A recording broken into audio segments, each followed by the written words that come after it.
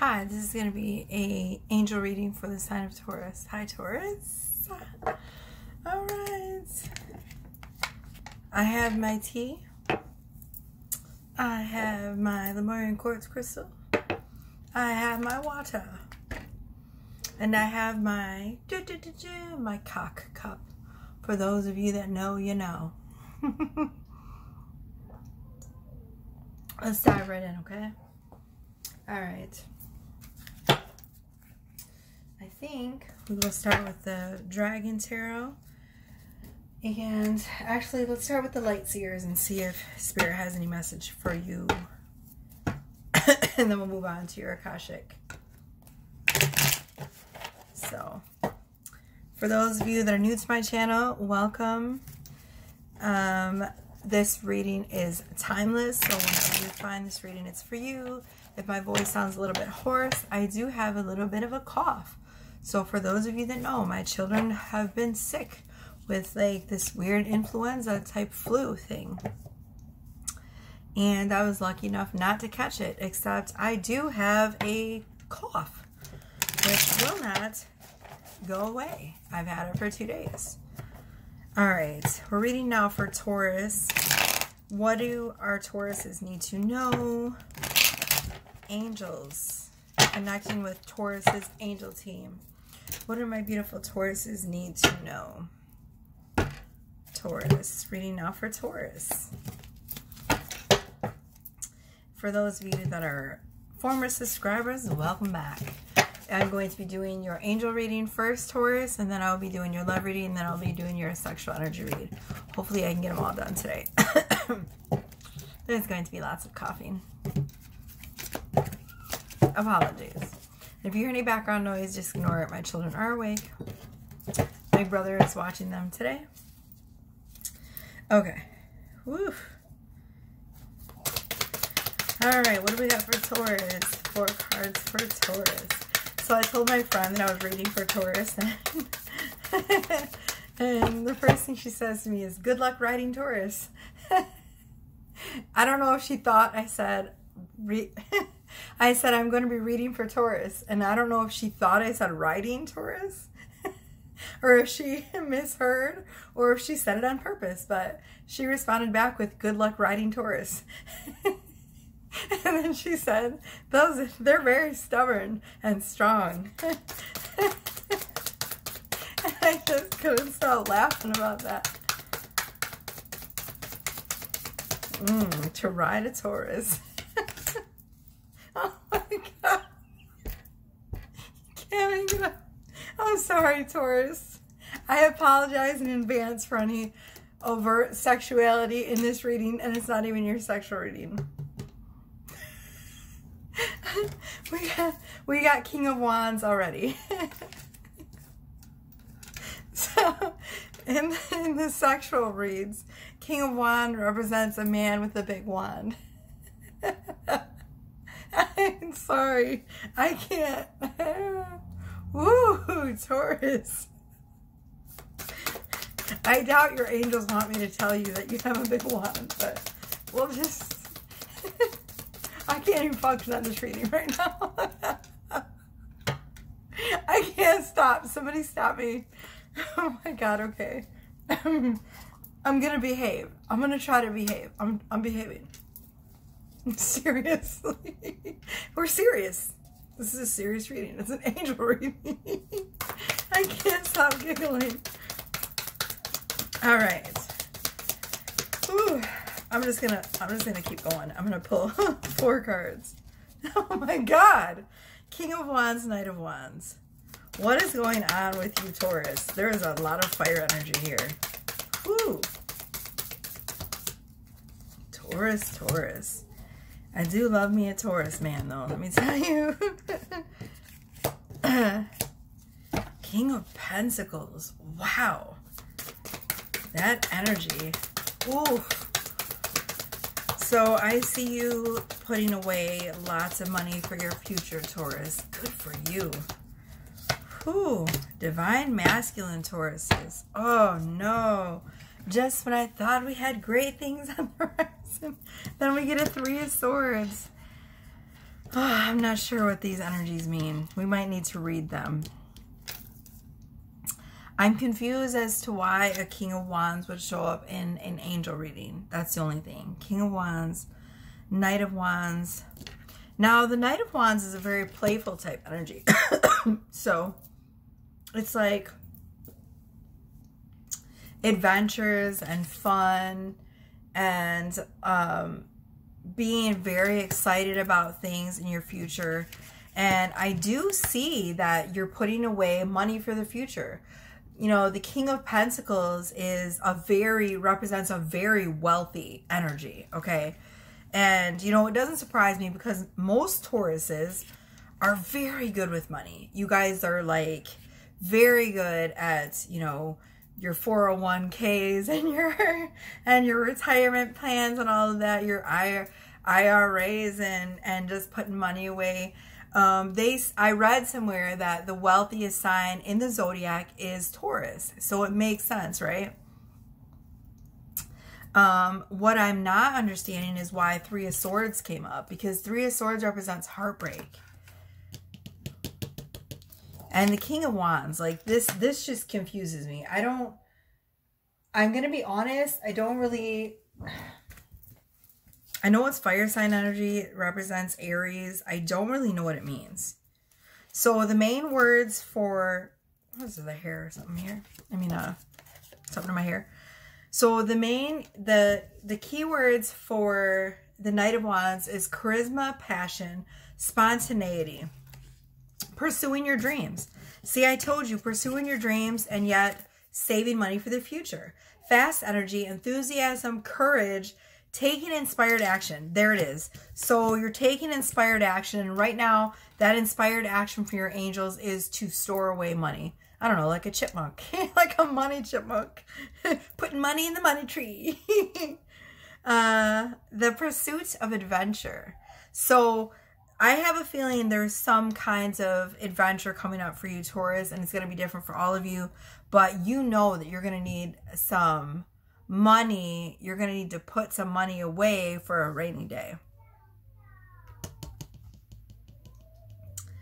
And this card also talks about like what what have you been dreaming about? Like what is it that you're trying to manifest and create? it's about being impulsive.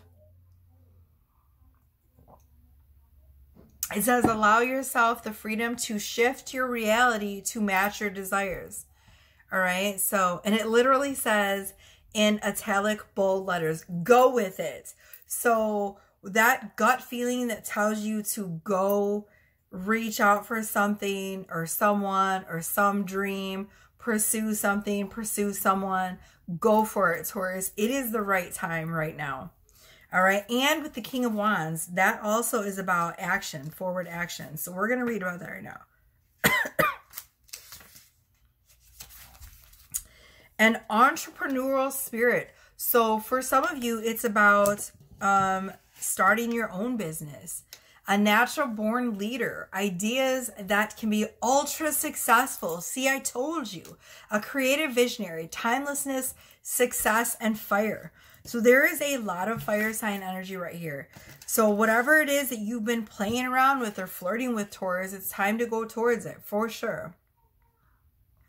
It's it said it represents a divine masculine. It says this fiery guy, he's a charismatic and natural born leader whose vitality, I told you he had a big wand, emanates through his laughter and his obsession with a life well lived. As you dance into this energy, you may feel a surge of entrepreneurial passion that pushes you to the edges of your epic success. Wow, it said this is the card of moguls, masterpieces, and soul inspiration. Wow, the King of Wands calls you. It says soul masterpieces and soul inspiration. The King of Wands calls you to unleash that offbeat weirdo that you've got inside and be absolutely unapologetic in your pursuit of the stellar. Wow.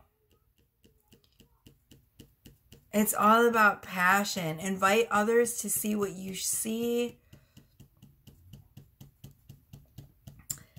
Wow. It says, Passionate and Heartfield, we build this empire of light together. So it says, once all of these beautiful things start coming in for you, my Tauruses, be careful to remain humble. All right, I'm not sure about what this Three of Swords is about, so we'll pull a card on it. Why do we have the Three of Swords here for my beautiful Earth sign Taurus? I want to try to keep this reading under 20 minutes if we can, 25 minutes. The sun. Oh my God. Okay, so this energy of heartbreak it's it's a thing of the past because look at what we got. When i asked why we had the three of swords here i pulled the sun card. So whatever it is you're doing right now taurus if you're thinking about doing something and you haven't quite gotten up the nerve to do it this is your sign from your angels. This is your green light. Okay. Now, you know, for all the legal purposes and all that I have to say, remember to trust your intuition and to follow your own heart. But that's just for legal purposes. You should definitely listen to me because I'm not going to steer you wrong. I am what is known as a truth teller. I don't sugarcoat shit in my readings. People that get readings from me will tell you. If I see your man is cheating, I will tell you. If I think he's cheating, I will tell you. If I think he has dog shit energy, I'm going to tell you. So, same thing if I think that your girl is loose. For you divine masculines, I'm going to let you know if she's stank. So, I read energy. I'm an energy reader. The energy is all beautiful and all signs are pointing to go. So, go. All right? This energy of heartbreak is in your past. You've healed it. You're ready. You're ready. You are ready for whatever comes next. Look at this card that comes that came next. It's the happiest card in the deck. It's the sun. It's Leo energy. All signs are go. You ready? Are you ready, Taurus? All right. Oof. You better be ready, Taurus. All right, I was going to do some Akashic. Let's do some, let's do two Whispers of Love for Taurus. Whoa! I'm dropping cards. I'm drinking some uh, fifth chakra tea to try to get my throat, you know, I don't know what's going on. Damn throat chakra issues. Not telling people how I feel and all that shit. exactly why you shouldn't hold feelings back. You should just tell people how you feel. Whether you think they're a shithole or whether you're hopelessly in love with them, let them know. Because if not, then you get throat chakra issues, start coughs and sore throats and all that bullshit. Because the universe will let you know you ain't speaking up. And you should be. See? I knew I should have just told that motherfucker how I felt. That's all I'm going to say.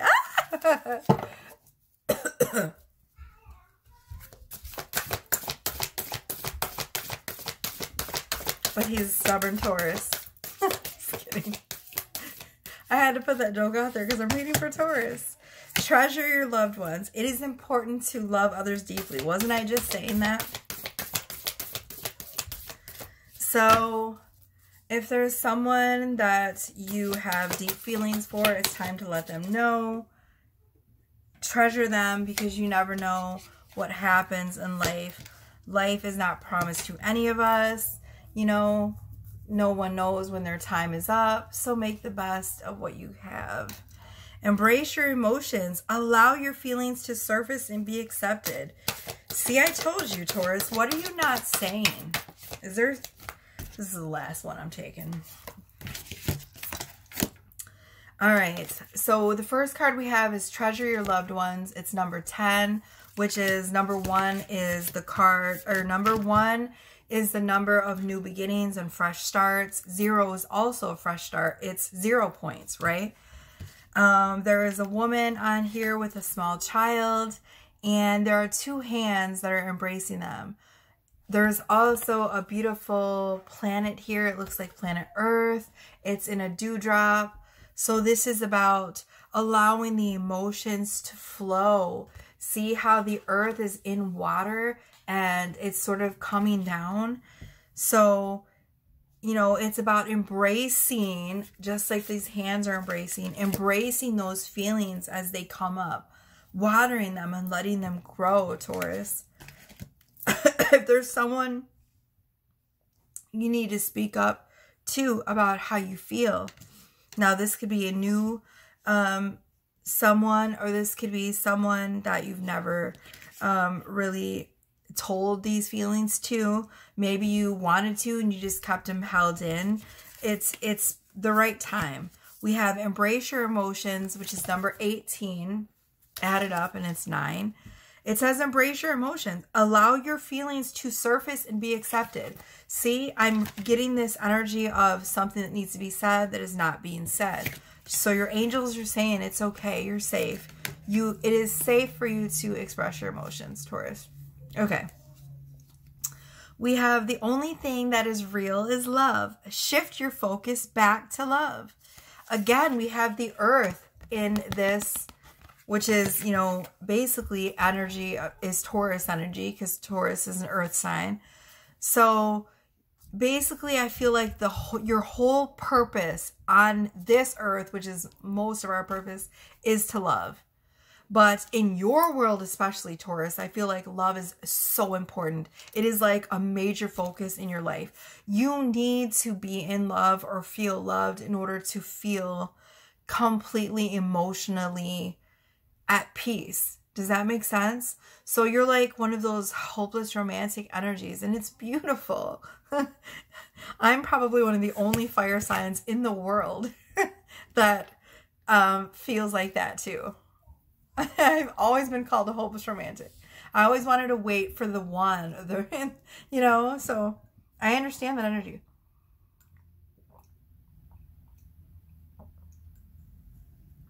And sometimes it can be quite lonely because if you haven't found the one yet, that you're sitting there, it seems like obsessing about the one or when is it going to happen? How is it going to happen? And sometimes that actually blocks it from coming in. But it says the only real, the only thing that is real is love. So they're asking you to shift your focus back to love. Shift it back. If you've been thinking about other things, about work, about this, about that, it's time to turn back to love. It's the right time. Let me see what else comes from this card. We got doves, which represent peace. So I feel like at this at this time, maybe you're at a time in your life when you feel at peace, and that's why your shift is sort of focusing to love because you're like, I'm at a good place in my life. There is um, a bunch of people on the side, children. They're sort of hugging. It's this beautiful energy of like one consciousness and there's a satellite and um, a astronaut. so take that how it resonates. This might be like representative of the cosmos and of space or a cosmic connection that you have with someone. Um, yeah, that's pretty much it. Really good. She's riding a unicorn Pegasus. One second, Taurus. Whew, sorry about that, Taurus. Had to take a child break. my kid, my kids need something. Oof, this cough. It ain't no joke. I'm very grateful though because, you know, everyone else, even the children's dad is sick, and he's, you know, sore throat, everything. Not me. I just have this little cough. My children, they had a fever, um, cough, sore throat. I didn't get any of those symptoms. I just got this little pesky cough. So I am super grateful that, you know, okay. So I'm even high vibrational sick. when I get sick, I'm still a high vibrational sickness. it doesn't, uh, it doesn't, uh, before, like when I was like in a lower frequency, I feel like when I would get sick, I would be like bedridden. Like I couldn't get out of bed. Like it would be really, really bad. And now it's just, you know, kind of a more of an annoyance. This is um number seven. So the only thing that is real is love. I think we were done with that one. Your angels want you to focus on love. It's time. All right. Um, I am going to tap into your Akashic Records now, Taurus, to let you know what you need to know and need to focus on. Um, and for those of you that say you cannot tap into someone's Akashic Record without their permission, Um, technically, there's a loophole, and that loophole is if you're doing a reading for the collective, you absolutely can. if you don't know, now you know. I know because I work with Akashic Records all the time, and I do Akashic Record readings people. And sometimes I will do like little things where I tap into the collective energy to just look at certain timelines from the past for um, Akashic Record readings so that I can see if I'm like, you know, accurate about certain things that I see in people's past timelines and, you know, so not to toot my own horn, but I know what I'm doing, guys. I've been doing this for years.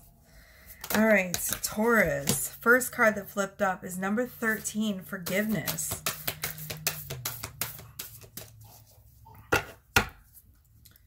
So, forgiving yourself, forgiving... I was going to say forgiving someone else, but it feels like forgiving yourself. Just like you forgive other people, Taurus, you deserve the same extension to yourself. You are not a bad person. You are not, see, release and let go. You are not your actions or what you have done in the past. Okay. Ah, one more card for Taurus. When I show you the card that came out, ooh, you guys get the same card that I get all the time in my Akashic reading. So I know exactly what this means. Okay. So you are not your actions. You deserve to extend yourself the same kindness that you extend to everyone else, and you deserve to forgive yourself Taurus, for anything you feel like um, you have done that is bad because guilt will lower your frequency and you don't want that. All right. And now, if this is about forgiving someone else, um, people get confused. So, forgiving someone does not mean that you're you are um, okay in their actions or letting them get away with something. So, say someone does something to you that you think is really terrible. It's not about forgiveness, is not for them, forgiveness is for you.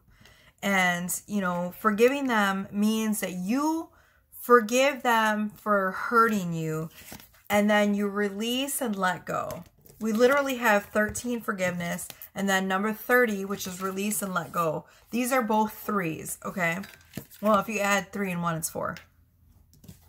But you have a lot of threes here. So uh, you have a lot of ascended master numbers here because number 36 right here, it's 13, 30, and 36. If you double three, it's six. So six goes back to three, okay? It's it's it's an ascended master number, 333, okay? If you don't know what an ascended master number is, you can Google it and it'll help you with that. It's basically a code for an ascended master. Okay, so here's the thing, Taurus. Forgiving someone else is, it, you can't make it up. It was just two, three, three, three on my camera. okay, so there's ascended master um, energy here, Taurus, that'll resonate with you if, if that's your energy or someone surrounding you. Um, so here's the thing, Taurus. Forgiving another person is not about them, it's about you. If you hold on to anger or bad feelings for someone, then you're just you're just burning yourself. It's like, you know, I've heard someone say it's like holding on to a hot coal and throwing it at someone and expecting it to hurt them. and really, you're holding on to that hot coal and it's burning you and you might you might hit them with the coal and and cause some damage but in the long run the only one that's really getting burned bad is you because you're holding on to it right so holding on to all this anger and hatred or feelings of resentment or hurt you know and in regards to not forgiving someone is just hurting you and now let me just clear something up so forgiving someone doesn't mean that you you even have have to deal with them. You don't have to call them and say, hey, I forgive you. You don't even have to deal with them. You don't have to let them back in your life. You don't have to let a toxic person back in your life. So, for example, you are in a relationship with someone, they are consistently toxic, don't listen to your needs, they're not receptive, they don't communicate well, they're constantly um, cheating on you, or there's infidelity. You absolutely do not have to let that person back in your life just because you forgive them. You can forgive them, not even tell them that you forgive them, and know in your heart that you forgive them and you're ready to move on with your life, okay? And not even reach out to them. Just do it up here and in here. Keep your heart open so that good things can come to you. So that the next, you know, whatever that comes in is is what's meant for you. Okay? Don't close your heart because that's what happens when we hold on to, you know, those toxic feelings. We close our hearts. And then, you know, nothing good can come in. Abundance can't, love can't, because you're like, oh, this person did this when I was in a relationship with them. And it doesn't matter because you forgive them for you, you open your heart, you keep your heart open, keep expecting the best, and you let them go. And you don't have to tell them anything and you don't have to let them back in your life. You just move on. Okay? You absolutely do not have to let toxic toxic anyone, whether it's family, anything. Like people like to say, "Oh, they're family. You have to forgive them. You have to." No, you don't. no, the fuck you don't. If there is someone in your family who's consistently hurting you, say your dad is is always disrespectful to you, calls you names, you you can absolutely forgive him and cut him out of your life and never speak to him again. You don't have to do anything. You don't have to, you know, let this person back in your life just because they're blood. There's no rule book that says that. Your mental health and your emotions and what you need to do for you is the most important thing. People get stuff twisted all the time people are like, oh, you know, society teaches us, oh, you have to make sacrifices. You know, family is blood, blood is thicker than water. No, it's not. Your most important focus should be you and your self love because you cannot truly be happy letting other people in your energy that are going to hurt you. And people that hurt your feelings or hurt you are not respectful enough to if someone is disrespecting you consistently, then they do not have the capacity to care like you want them to, and they never will. I guarantee. So, what is your option? Stay there and let them be toxic and mean to you and hurt your feelings all of the time because they're family? No. Why should we do that? it makes no sense, right? if you need to find inner peace, then you need to find that inner peace. And if that inner peace involves cutting out toxic people who are consistently not taking your feelings into consideration, then you need to do it is best for you. Okay, that's, I'm sorry, the angels have a long winded message for you. All right, and speaking of which, the next card that we get is number two. It's angels. So, whenever this card shows up, Taurus, this means you are an angelic being. Now, you might have a special connection to the sky, to um, to clouds that um, very often represents angels. Like you ever see pictures of angels or Cupid, they're always floating on little clouds, right? With these little wings, and that's how people portray them, right? And it's because um, of the mainly it's because of the angelic aura. It's very pure and white, like a cloud. Clouds are usually white. So, um, this card, whenever it comes, whenever it comes up in an Akashic reading, it almost always means that you have had past lives as an angelic being. And now some people argue and say, you know, we're all angelic beings, and we all were probably at one time. But for you, in particular, Taurus, your angelic life is you're being asked to remember your angelic life right now for some reason or another. Okay, it's going to come up. And you'll get different signs that you were an angelic being and it was probably your most important lifetime for you, okay? Or your most recent lifetime. Now you'll start to see things like feathers or, um, I don't know, I guess things that represent angels to you, angel wings. You know, this is an angel reading. So if you're here, you know, that's probably why you're going to start seeing angel wings everywhere. Um, maybe angels, beings. Also, this card too, I wanted to let you know that the butterfly on here, butterflies um, often represent the soul. So it's something to do with your soul purpose as well. Okay, so last card we have is solar plexus chakra. Now, this is the chakra that is um, in the area where your digestive tract is. I believe it's like your stomach area. Um, it's number 36. The angel card was number two. So it represents balance as well. Number two is balance. So 36 added up, six and three is nine. Okay, which represents abundance. Now, there might be something that's blocking your abundance. This reading's already got way too long, so we're going to hurry it up and then we're going to go on to your grace reading. But nine represents abundance. Now, there might be something that is in your solar plexus chakra that is blocking your abundance. So your angels want you to work on your solar plexus chakra. Now this is very simple. You can eat things that are yellow. My favorite thing that I like to do for my solar plexus chakra is I like to drink lemon water. And I'll just slice a lemon, put it in my water, and I'll drink it. Excuse me. And I'll drink it and that helps me to not only detox my body but also to balance out that solar plexus chakra energy but you can do it any way you want you can go outside under the sun and get sun codes which you know and sun codes are codes that will come down from the sun in from the sun rays into your body and they will literally um they will literally upgrade your DNA. Okay, that is what I mean by sun codes. Okay, that will also is the quickest way to balance your solar plexus chakra. But if it's cold where you are, like it's cold where I live in Michigan, um, you know, it's it, that's not always possible. Then wear things that are yellow, okay, or eat lemons or whatever yellow fruit. Bananas, bananas will do it.